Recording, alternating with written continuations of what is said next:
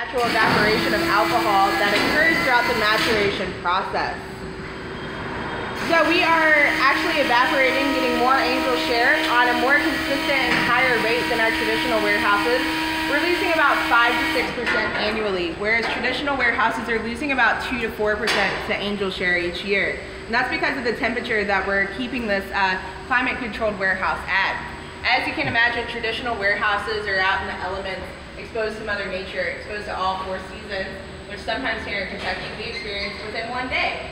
Um, yes, but during summer we get really hot, sweltering, humid summers.